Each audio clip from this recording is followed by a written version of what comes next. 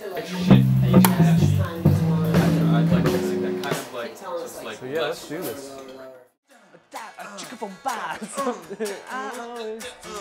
And then this would be the ending.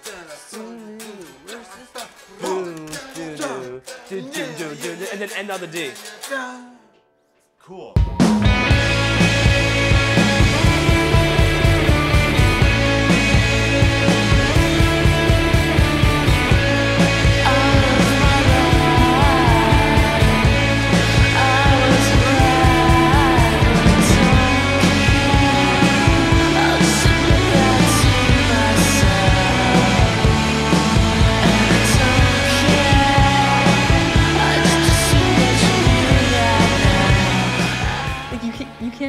A sentence without saying like like five times. Shh, they're just trying to get this shot. Sorry. I'm Liz and I'm Jenn, and we write a music blog together called Pelly Twins.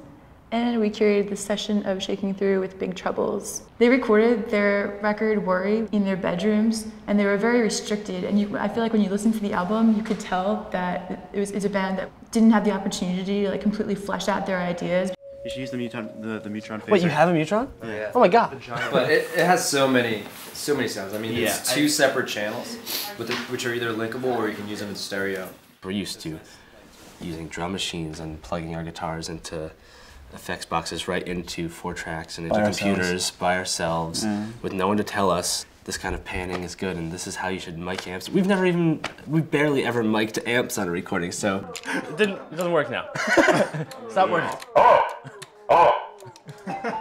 So we should let's let's get stuff cooking, right? the song we recorded is called Phantom. Phantom definitely had in mind power pop bands in the 90s that were doing really big guitars. That's not I would love to hear the the biphase through that. Oh yeah. Yeah. I just totally. boosted the tone up a little bit. Okay, yeah. Brian and John both just were really helpful in terms of saying, okay, well, we should pair this sound with this sound. It would be almost make sense to sort of use the more two-dimensional sounding amps, Yeah.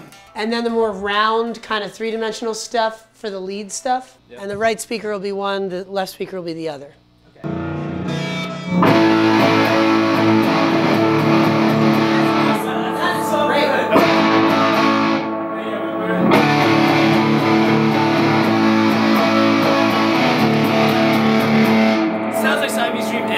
Sounds amazing, yeah. So both of those, Yeah, shit, yeah. that's the way to go, right? when they sent us that demo, we loved that song, but it was almost like hearing it through a tube, hearing it through a tube, like or behind a wall or something. It was awesome yesterday to be in the studio and hear like it's finally like that wall was knocked down or something. Yeah.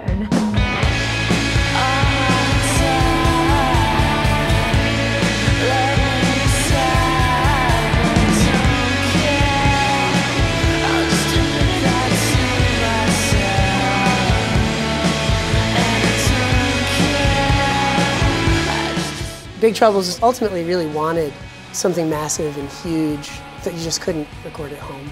When they were done this recording session, they, they sounded pretty much exactly like they're supposed to sound.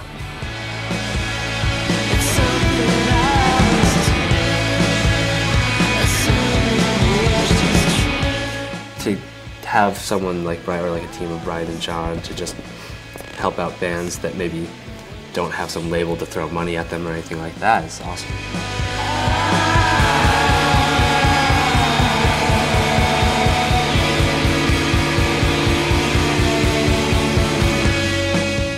seeing what the sessions have done for other bands, it's not a small opportunity at all. And I hope that something like this kind of motivates them to push themselves a little bit more and get to that point where they could have a career that's much longer than just a few years and a few records. Yeah. Creatively, we have a lot of ideas about where we want to go. But in terms of like life plan for the band, I mean, I still don't know, but I, we know better now.